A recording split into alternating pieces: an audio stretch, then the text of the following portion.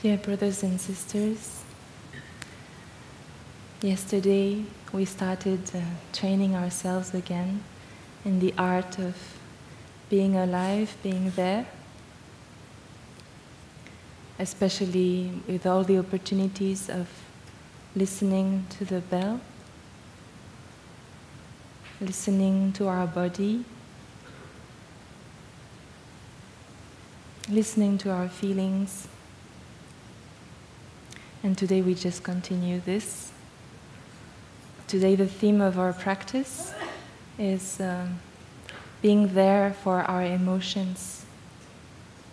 I can tell you that sitting here, there's quite a bit of emotion. There's a lot of love too. Um, I have to say it's a happy moment. also a difficult moment.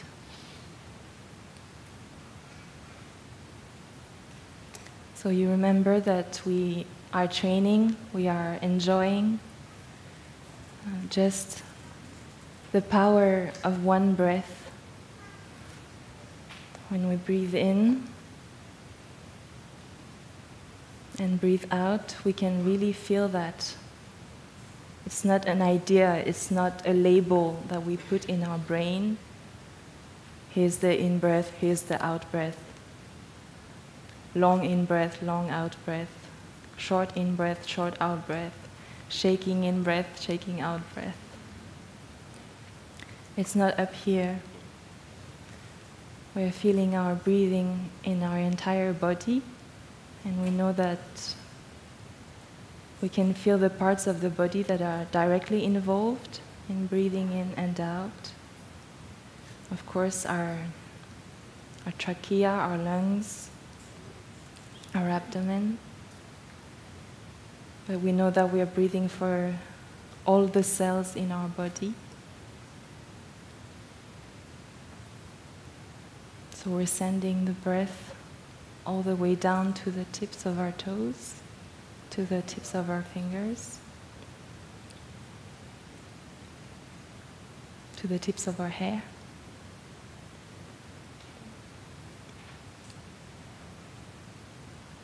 And there, there is this bridge with our breath, there is a bridge, very gentle, very warm between body and mind.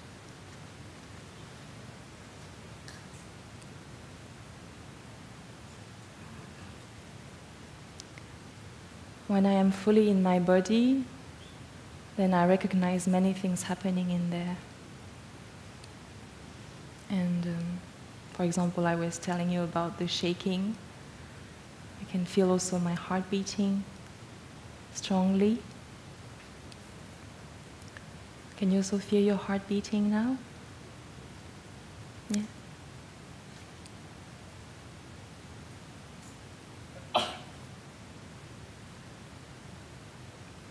So our body is telling us things through the feelings our body is speaking to us.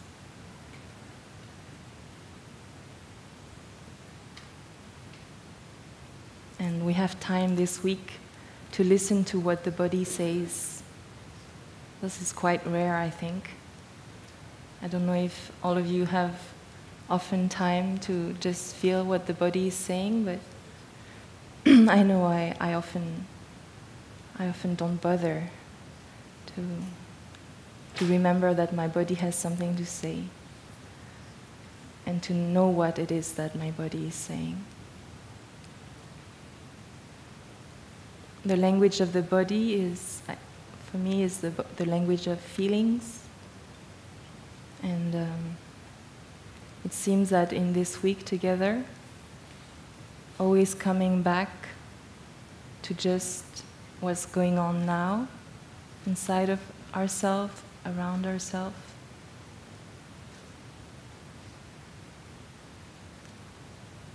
We have a privilege of, um, of recognizing things that have been going on for a while and we didn't feel them before, or we didn't have enough space to fully feel them. Maybe we felt something, but maybe we had to push it aside or to just go on with business, with what we have to do, what we feel is important.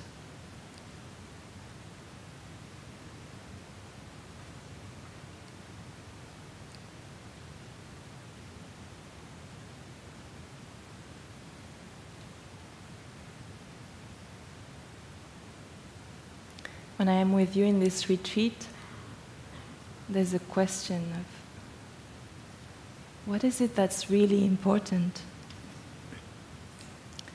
How can it be that so many young people realize this desire, realize this dream of coming to Plum Village to be together, to be with themselves, first of all?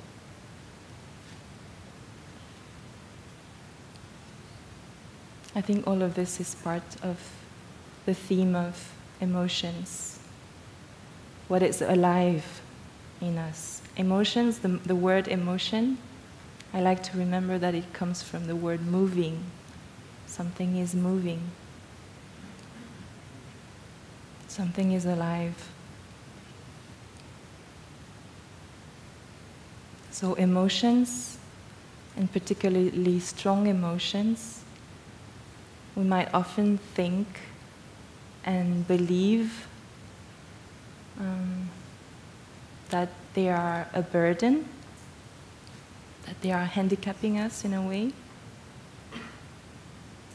Sometimes it's true.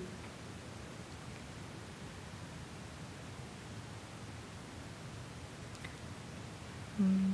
And for me, because of this quality, this aspect of moving and aliveness of our emotions, our feelings. Um, I want to value what is what, what that is, value that message from from the body and from the mind.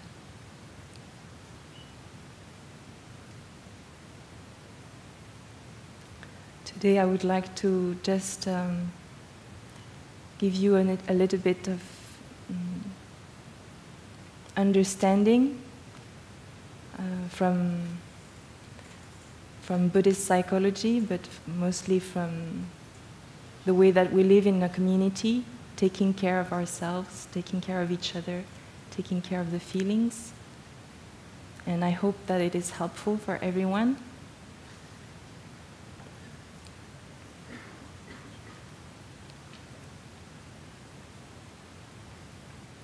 I'm going to draw on the board. One of the first images that helps me the most in uh, the way we understand the Psyche Soma here is the five rivers. So, probably many of you have heard of, of this uh, way of understanding.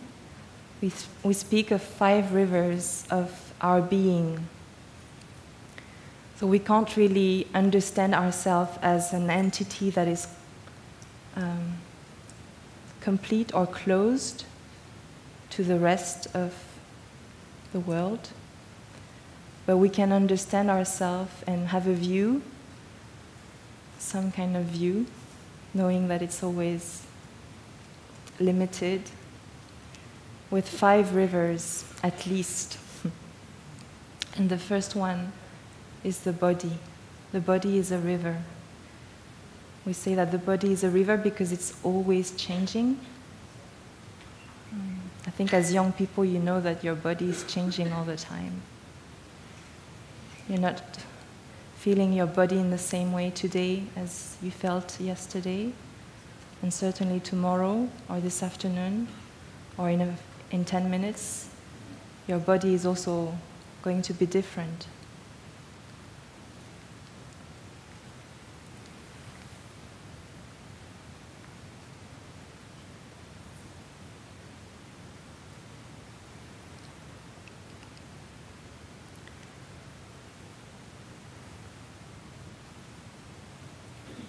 the first river.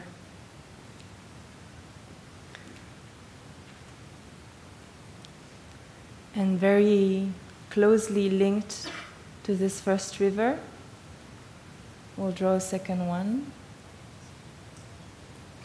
which we call the feelings.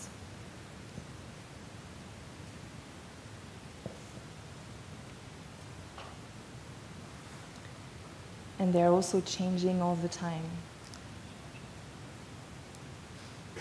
In fact, um, you could say that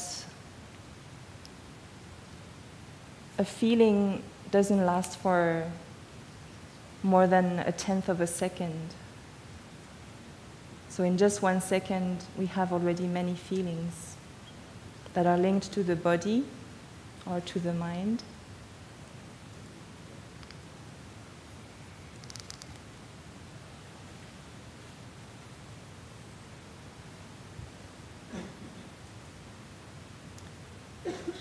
River of perceptions.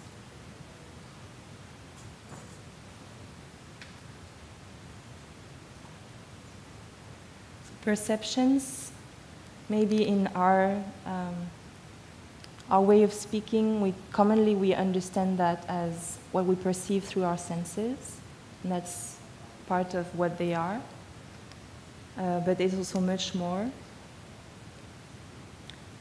Maybe we can understand that as our our, our view, our viewing, our what, how we perceive ourselves, how we perceive the environment.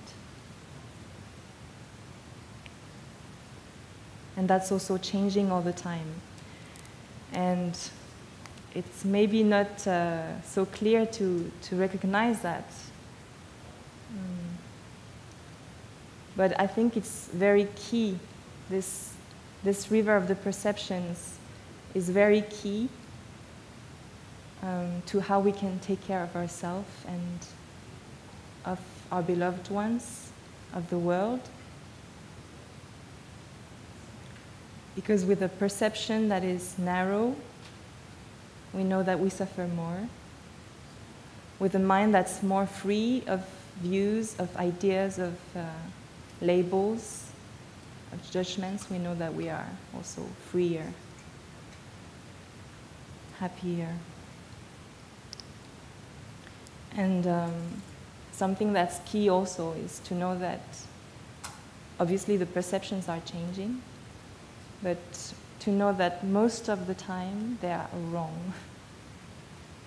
Our perceptions are wrong.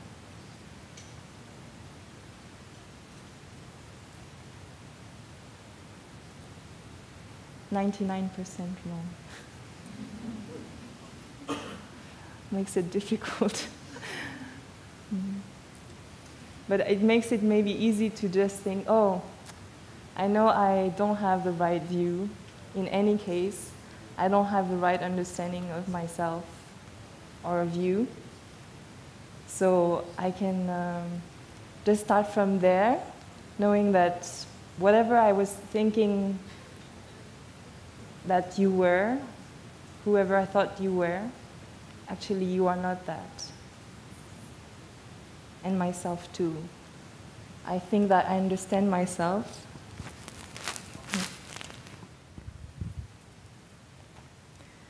So I think I understand myself. And I think when I look at you, what I see and what I hear is correct, but it's not most of the time, 99% of the time. I only understand this much of who you are.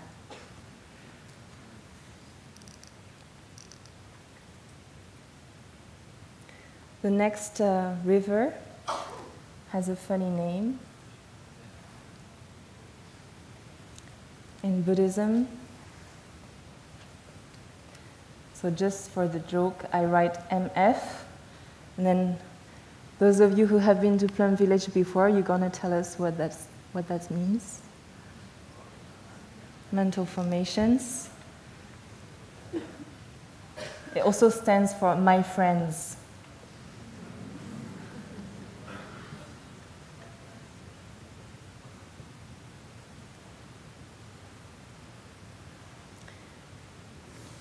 These are our states of mind. The reason why we call them formations is because they are formed by many conditions, and they are formations of the mind consciousness, states of the mind consciousness, and also flowing all the time, changing all the time. So, from one second to the next, even if a state of mind seems to be the same, like sadness or frustration or peace, but it's really evolving all the time.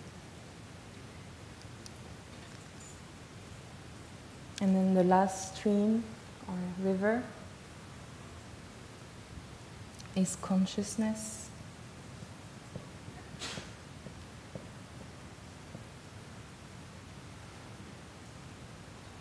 Very hard to define.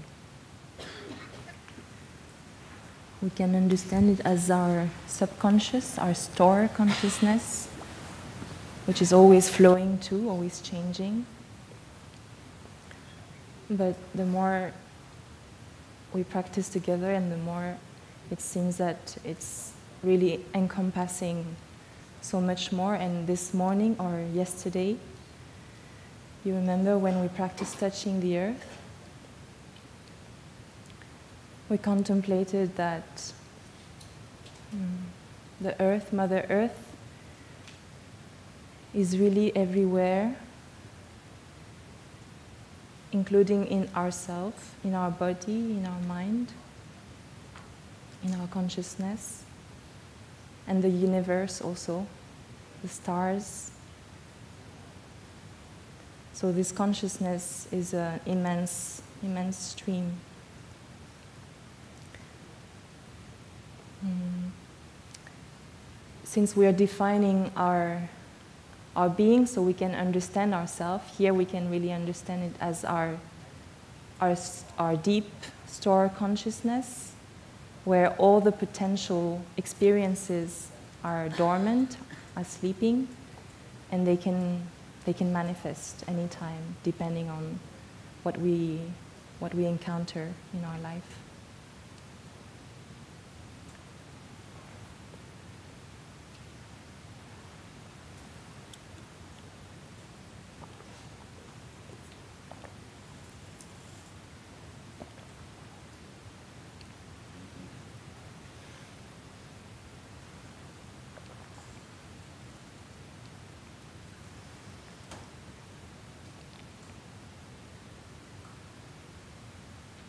I wanted to focus a little bit on the levels of our being that have to do with the perceptions and the feelings. Um, if I want to share with you about my practice of taking care of strong emotions, I feel that this is where um, it's most helpful to start because I recognize that really all my strong feelings, the moments of uh, strong fear or anxiety or anger or despair, they are so closely linked with my thinking.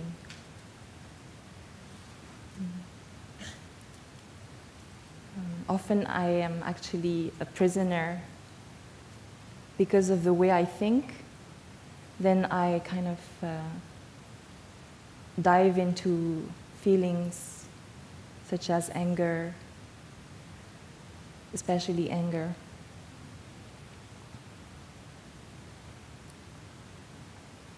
And um, I think we can understand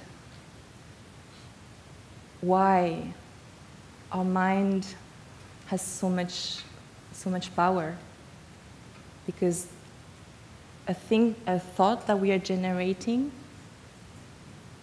has influence on the, on, our, on the feelings we're going to have, on how we're going to feel. When I believe a, a certain story, a certain judgment, a perception, when I believe it to be true, to be real, then it can really make me angry. It, can me, it makes me, um, my, my universe narrows down because I believe, I am sure that this is how it is. So here we're always practicing to ask ourselves Are you sure? Are you sure about this? Are you sure that the situation you're viewing in this way can only be seen from that angle? And that there is only what you're, what you're seeing is really the whole story, the whole picture. So, this is on the level of mind consciousness, the thinking, believing, um, building perceptions, building a view,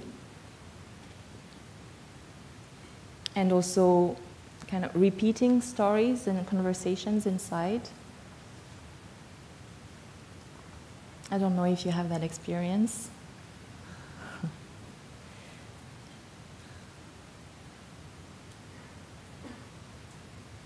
Sometimes it's because I want to understand that I repeat the story inside of my head. So I want to analyze every detail of what's happened. Um, but I, really, what I'm doing is only approaching from the same angle all the time and only, we can say, ruminating the same scenario. And that causes seeds of feelings, of strong emotions um, and I, I think that it's not so much a problem that my thinking causes an emotion. It's the most natural thing in, in our being because we have these five rivers that I was telling you about and they're always flowing. So it's very, very natural and in fact it's it, be, it, means you're, it means you're alive, it means you're healthy if it, if it is what is happening, that your thinking triggers feelings and emotions.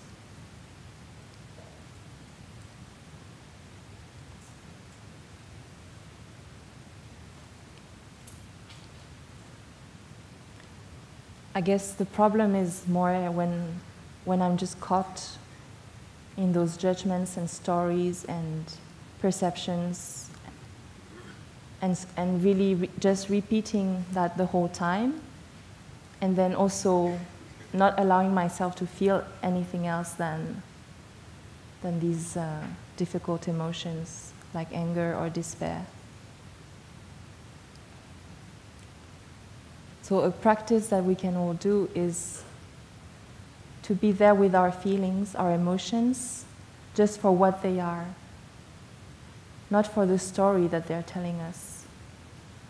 Not to repeat the story in our head, not to approach it from the same angle again, try to analyze it, analyze it in even more detail, but to fully be there with the emotion. For example, if I feel anger, rather than being with the anger on the level of my thinking, an angry story in my head. I'm going to come down on a level of how it is manifesting in my being, that anger. And many times it can be a tension in the chest or in the hands or in the jaws. So try to spot in the body where the, where the feeling speaks.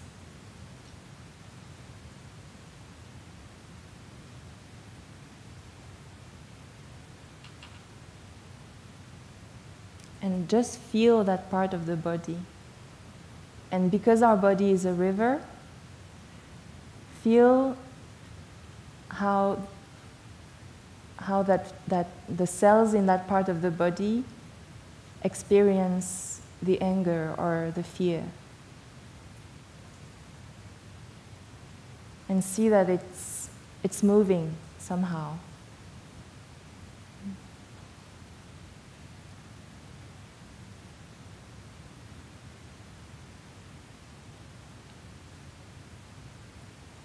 I'm going to make another drawing now.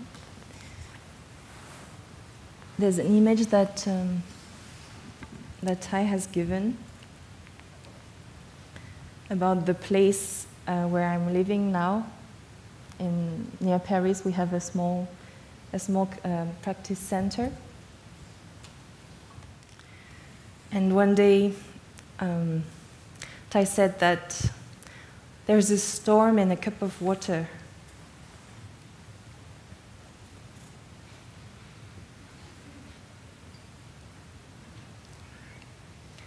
So I see this kind of whirlpool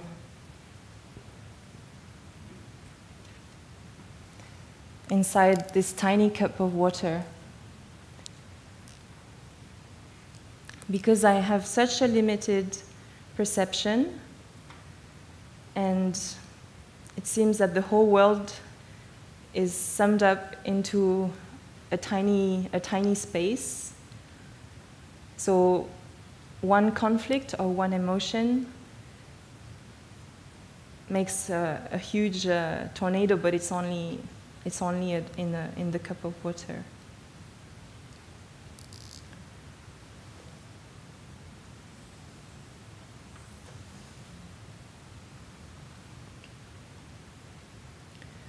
At the center of the tornado, the hurricane, there's my strong emotion.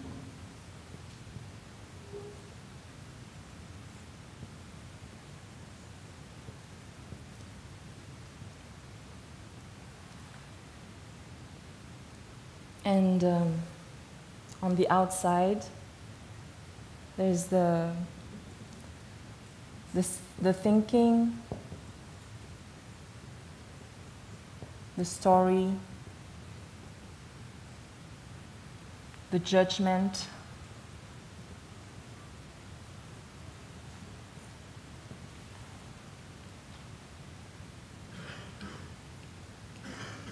We know that usually it's it's, it's quieter to be in the center of the, of the hurricane. And, um, and to remember this cup with the whirlpool in it, um, it's, it's helpful because it helps us to have, um, to take the initiative of opening the perspective knowing that the emotion is just an emotion. It's just one in the river. And we don't have to die because of just that one emotion. Sometimes we want to die because it's so strong. We want to dig a hole and put ourselves in it under, under the earth. At least that's, that's what I often feel.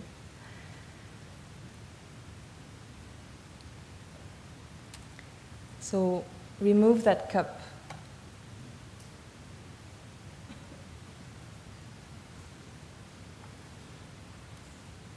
And recognize the emotion for what it is. We can fully be there for it. We don't have to minimize it. We can really honor it for what it is, but we don't have to think that it's the whole world and to, to decide that our whole life is just that.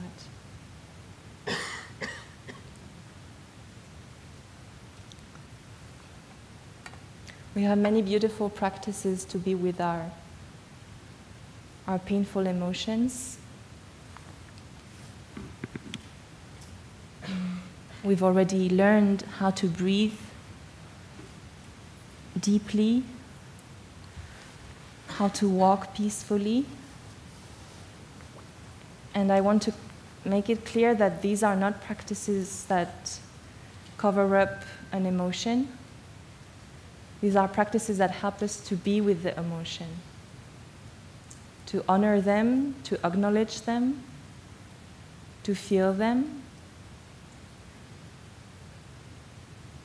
and to let them be. And when we let them be, we can also let them be until they don't need to be anymore, until they just go by themselves. So we let them go.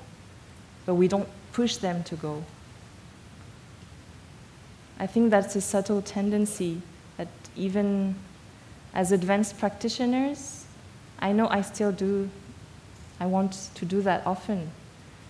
I want to say, my dear anger, uh, you need to go away now. I, I don't have uh, I don't have a need of you. I don't have space, and actually I have other things to do than to be there for you. So please um, make way.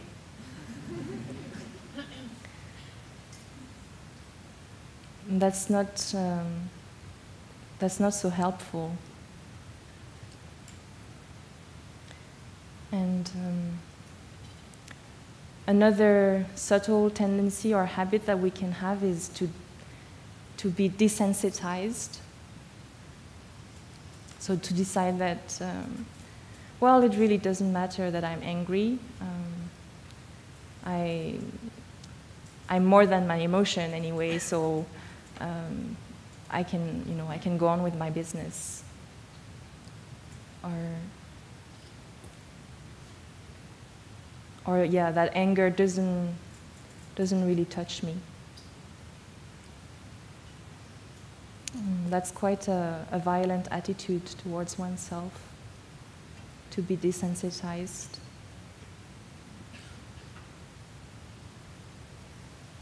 Yesterday we were speaking of how mindfulness um, can be generated by breathing, by walking in the present moment, aware of our body, breathing or walking, and that mindfulness arising is there to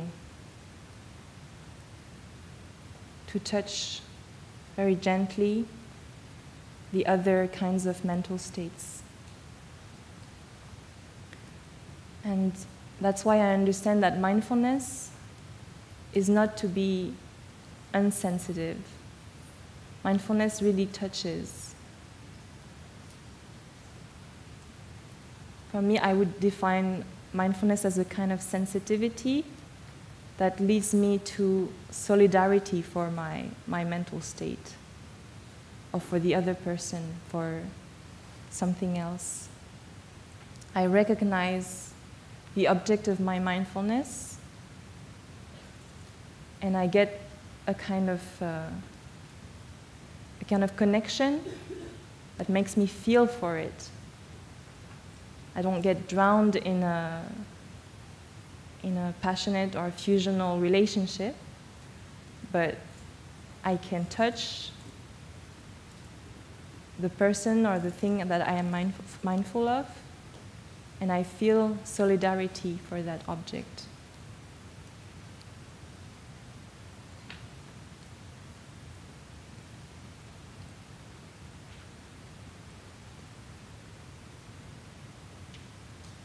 Maybe we can have a sound of bell.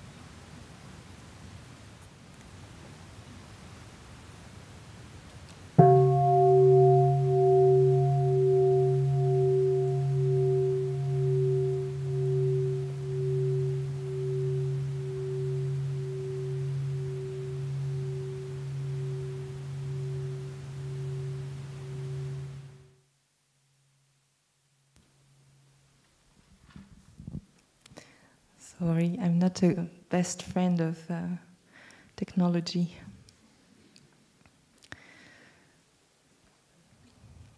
There's one uh, exercise with the breathing that uh, I find really beautiful is when we do the deep relaxation. We can we've done that sometimes with children because they like to be creative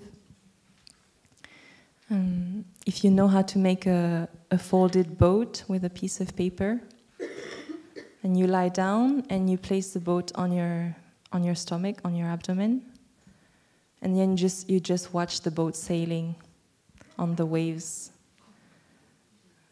and it's very lovely um, when there is an emotion.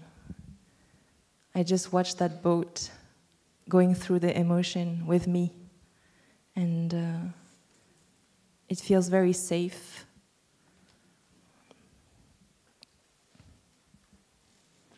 there's also poems that we use in our practice. And I'm sure you have seen them because we post them like in the bathrooms uh, to be mindful of the water, for example. And one of these poems that we have is especially when we're angry. So um, it basically says that when there's anger in me, I know it doesn't feel good, and I know it makes me feel not beautiful. It's not that I am not beautiful, but the feeling I feel not uh, not blooming. So I return to myself in order not to lose myself in anger. Another one of these uh, poems for when we are angry, angry with each other, is um, being angry. I look at my my loved one and um, imagine ourselves a hundred years from now. Where will we be? Aware of impermanence, I can also let anger go.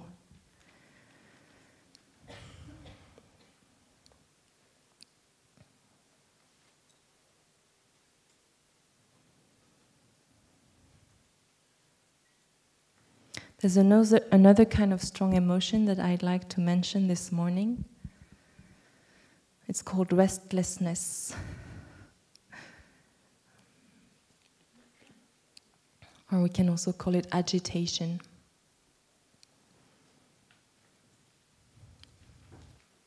It's a state of being where it's really hard to sit, it's really hard to not do anything in fact, is the energy that pushes us to try to do everything at once, to try to do multitasking, to try to resolve every situation. And it's a kind of impatience also. And um, it's good to call it by its name because it comes up often, more often than I, than I recognize even when the bell sounds, there's the sound of the bell or there's the ringing of the phone, and my body kind of automatically stops because it's been trained to do that. But inside, I want to. I want to move on. I want to get things done. I want to. I want to speak. I want to I want to run, run away from, from here and now. And it's also this energy that pushes me to go consume things uh, that I don't really need or that even harm me. It's good to have a name for that, uh, for that state of being. and from time to time to to call it say restlessness you're there aren't you what is it that you want what is it that's so important that you're making me rush like this where are you actually leading me if i follow you my whole life Where are you leading me? I remember that story of um, a native people from, from Colombia. They came for the first time to, to Paris and they were taken in the metro. And uh, they asked the people who were um, making them visit the city why are you digging those holes in the earth everywhere, those huge uh, tunnels? And um, of course, the person, the Parisian person, answered, "Well, it's so it's just so we can move faster to where we need to go." And so that one of these uh, member of the members of the Indian, the Colombian uh, people, said, "But where, where exactly do you need to get faster? Because we're all going to the same place, and that is, that is, either it's here and now, or it's uh, the end of our life. All of us are going in the same direction."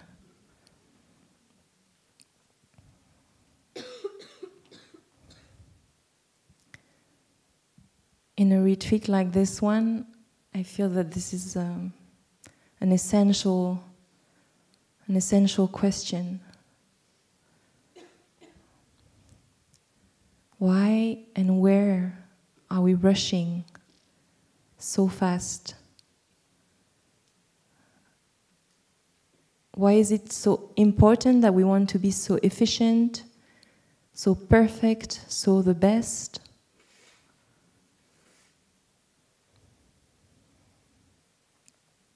And a retreat like this one is a kind of piece of evidence that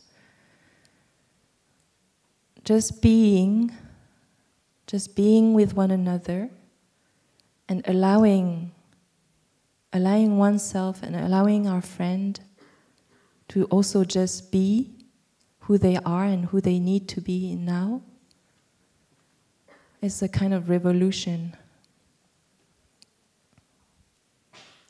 I feel it's really the the revolution we need. Mm. Often Thay says, as young people in the wake up community, we want to change the course of civilization.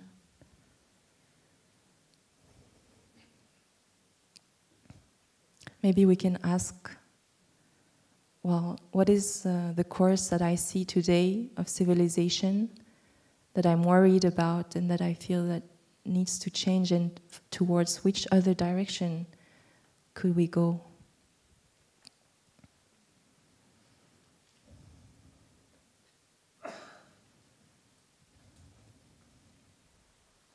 And in this sense, um, practicing with strong emotions is also I feel a key to to taking care of our our civilization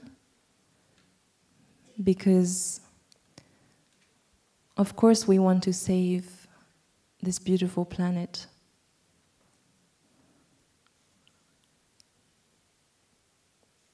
but I know for myself that many times the place where I am from which I want to save the planet is not a place of peace it's a place of restlessness.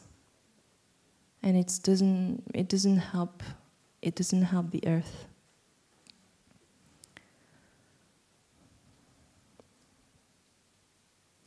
So this morning I had my breakfast um, in the Dharma Bodhi forest.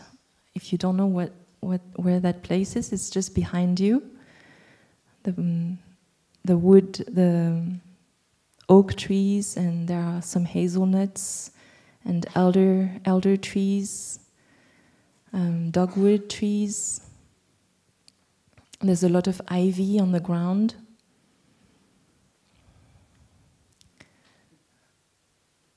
And I thought, this is the real, this is the Dharma talk, this is the teaching It's there all the time. Nature is there all along. And nature is there all along to embrace our emotions. Not just outside in the trees, but in here, in our body. There's a natural capacity of embrace and of healing in our body. And that's also what Brother Phap shared yesterday when he said, um, relaxation is a medicine that is right, right here inside of you. So, nature is um, a very powerful remedy for our suffering. And we don't need to grasp nature to be healed, we just need to be with nature. We need to take a walk, take a swim, watch the squirrels, and also as a way to make our perceptions a little bit more right or a little bit less wrong, we need to perceive as nature, use our, our earth senses, our, our animal senses, our vegetation senses. I mean by that that imagine you, instead of having those human eyes, imagine you had the eyes of a spider. And now what the world what does the world look like? Or imagine instead of having these ears, you're using, say, the roots of, um, of a beech tree. How does that, how does that sound?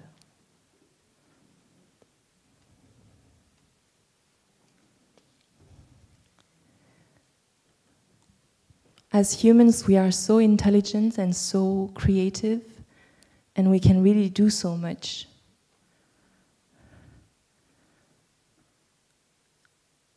However, we can't just be humans. We can't be humans cut off from the rest of life's intelligence. And to take care of our strong emotions, to, to generate strong emotions also of uh, fulfillment that is long lasting. I feel that it's essential to use um, our other senses to open, open our, our perspective.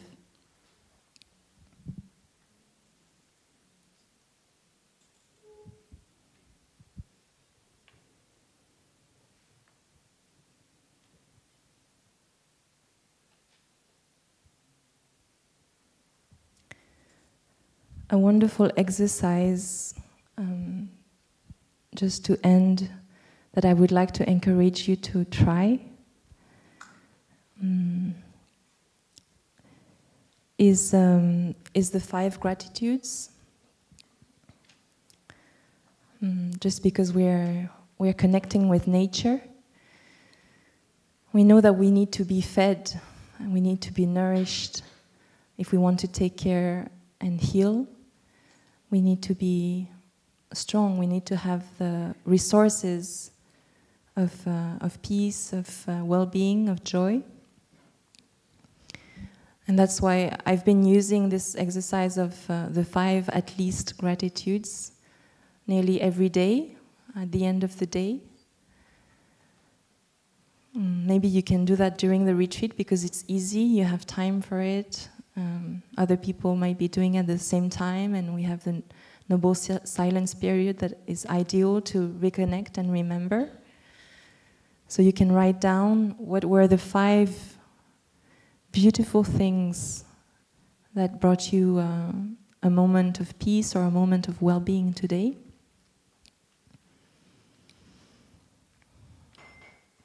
A little bit like the happiness check with our, the good conditions of our body, but also the things that we receive as gifts from life. You can also do that.